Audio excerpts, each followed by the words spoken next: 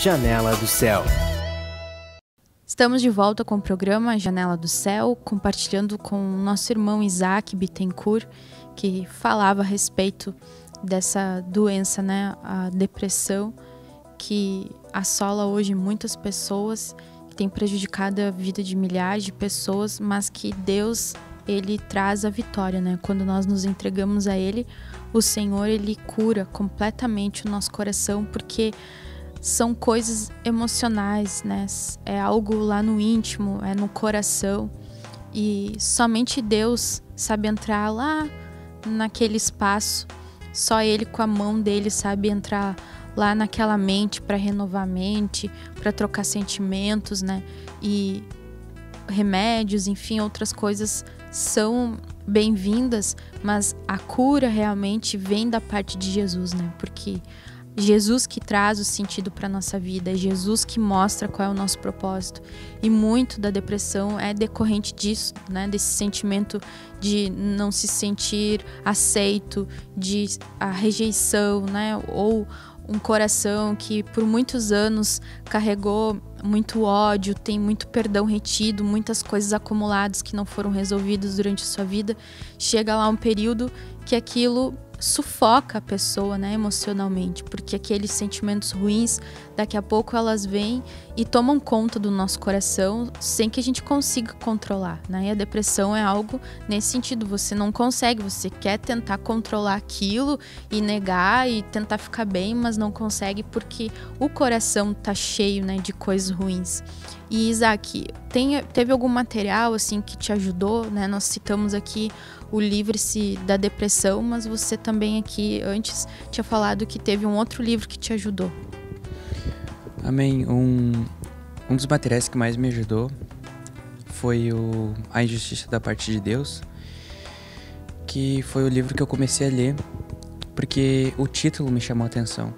Porque realmente no meu coração, uma parte de mim achava que existia realmente alguma injustiça assim do Senhor. Então eu comecei a ler e nas primeiras páginas eu já já fiquei pasmo assim por causa que foi algo que me esclareceu muito assim o meu coração, que estava bem atribulado, e aquele livro me esclareceu muita coisa assim. Eu lembro que eu fui lendo, foi uma, um dos únicos materiais que eu senti muita paz em ler, sabe?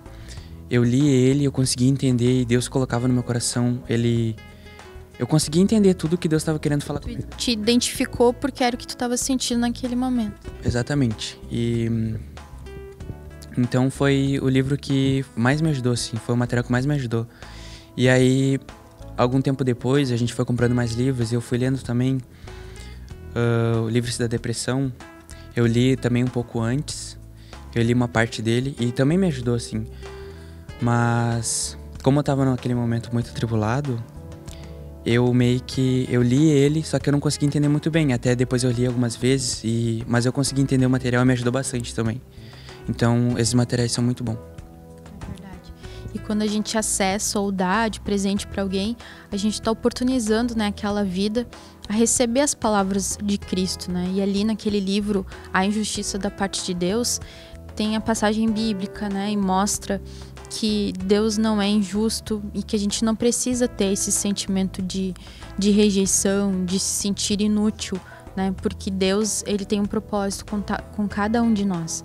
E muitas coisas acontecem na nossa vida porque a gente não sabe por que, que a gente está aqui, a gente não entende por que, que a gente nasceu, a gente não se encaixa na família que a gente vive, a gente não se encaixa na escola, não se encaixa em nenhum ambiente e aquilo começa a, a gerar vários sentimentos, mas em Cristo a gente descobre todas essas coisas, né? Porque foi Deus que nos criou. E até a gente entender, né, que a gente tem um propósito que Cristo está aqui, é Ele que dá esse sentido para nossa vida. Então vale muito a pena, né, você adquirir esses livros, A Injustiça da Parte de Deus, Livros da Depressão, tem também CD, tem também o, várias uh, mensagens que você pode acessar né, no, no YouTube, no canal da igreja, né, Rádio TV Menorá, na TV por assinatura. Há também um livro chamado O Dano da Amargura, que ajuda muito, né? Aquele livrinho, ele é pequenininho, mas ele ajuda muito a gente poder assim entender o que, que tem no nosso coração que gera todo esse ódio muitas vezes que a gente sente que a gente nem entende o porquê, né? Então, em Cristo e buscando na Bíblia, porque a, a solução toda está na palavra de Deus, né? A Cristo, com a sua palavra, renova o nosso pensamento e expulsa de nós, né, todos aqueles sentimentos ruins que a gente tá. Então, quando nós buscamos a palavra Cristo, né, quando a gente vai se humilha diante do Senhor e obedece que está aqui, Deus ele ele cura e ele restaura completamente o nosso coração.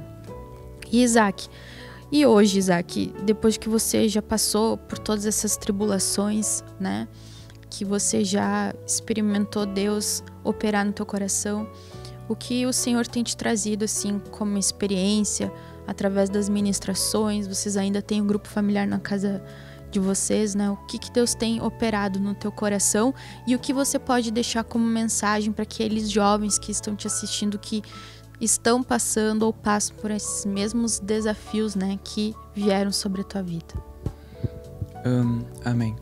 Uh, o grupo familiar continua lá em casa ainda e Deus tem trabalhado bastante no meu coração agora, no meu, no meu relacionamento em si, porque é a forma como Ele mais fala comigo, sabe?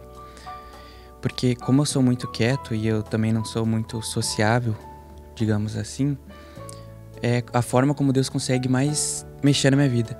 Por causa que eu sempre, infelizmente, fui uma pessoa que é muito egocêntrica, sabe? Então eu não gostava de me misturar com os outros, com os outros por causa que eu me achava melhor, assim, sabe? E mas Deus tirou isso do meu coração. Então agora eu não tenho tanto problema com isso. Ele continua trabalhando ainda. E mesmo com todas as experiências da depressão, Deus trabalha muito na minha vida ainda, com todo tipo de coisa.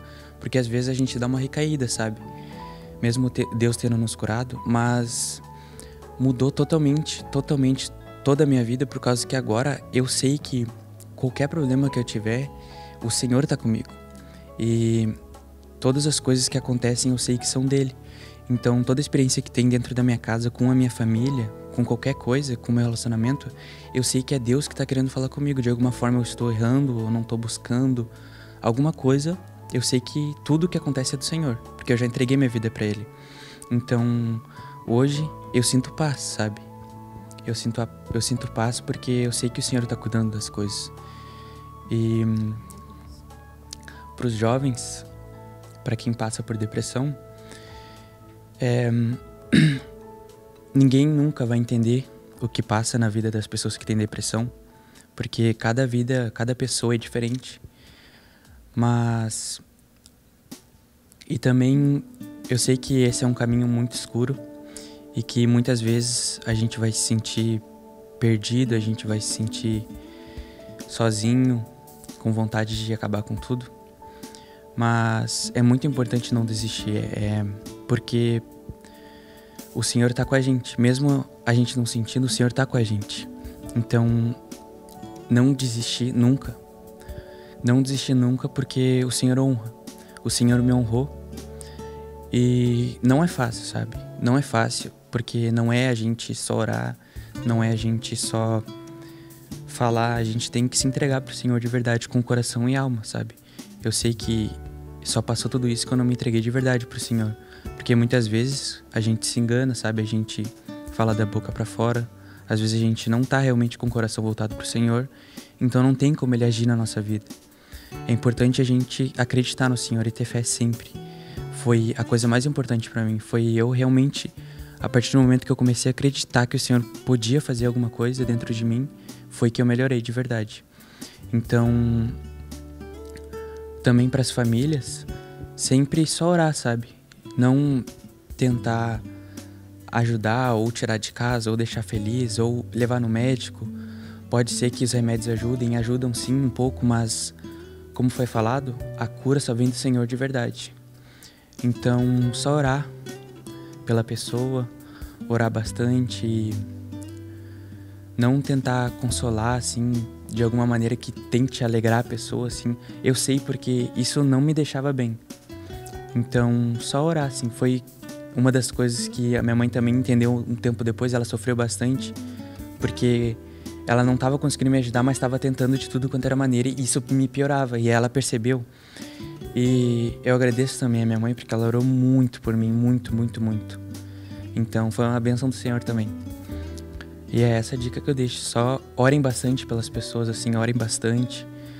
E uma coisa muito importante também foi as mensagens, o momento da oração no YouTube, que lá em casa a gente sempre deixava ligado de noite.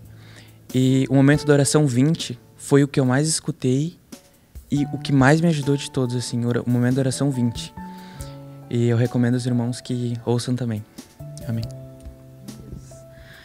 Fica a dica aí, vamos aproveitar, né? Obrigado pelo teu compartilhar, que eu sei que foi mais uma etapa que Deus venceu, né, na tua vida, de vir aqui compartilhar, mas é de escadinha em escadinha, né? Cada degrau que a gente vai subindo, que a gente vai criando fé, experiência com Deus, que Deus vai nos dando esse crescimento e essa confiança nele, né? De que Ele está sempre ao nosso lado, nos ouvindo, e basta, como o Isaac falou, partir do momento que ele entregou, se ele se entregou a Cristo, Deus ele operou no seu coração. Nós ficamos por aqui e que Deus te abençoe. TV Menorá apresentou Janela do Céu. Um programa com entrevistas. Janela do Céu.